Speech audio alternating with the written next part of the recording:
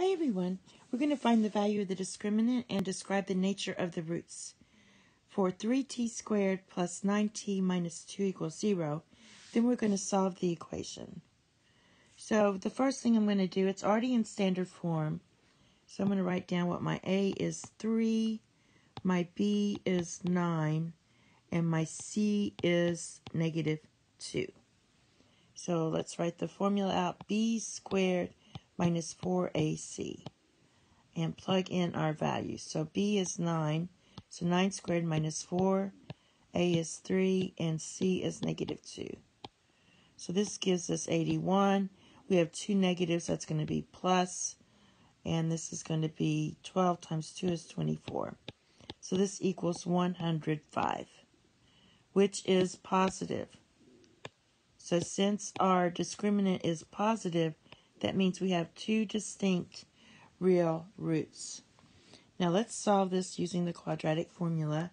Again, my a is 3 and my b is 9. So basically you're going to write x equals negative b, so that's negative 9, plus or minus square root of, uh, we already did this part, 105, divided by 2 times uh, 3 is 6. All right, so our distinct roots are, you can split this up, or remember plus, minus means plus or minus. So there's your two solutions. You can write it as um, negative 9 plus square root of 105 divided by 6, or x equals negative 9 minus uh, square root of 105 divided by 6.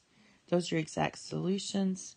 Um, if you want to um, use the calculator and simplify that way, uh, this would be equal to um, 0.21, and this one would be equal to negative 3.21.